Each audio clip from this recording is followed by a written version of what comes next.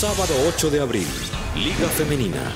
Envigado Alianza Petrolera, 1 y 15 de la tarde. Por Winsports, winsportsonline.com y winsports.co. Liga Águila, Envigado Alianza Petrolera, 4 de la tarde. Tigres Junior, 6 de la tarde.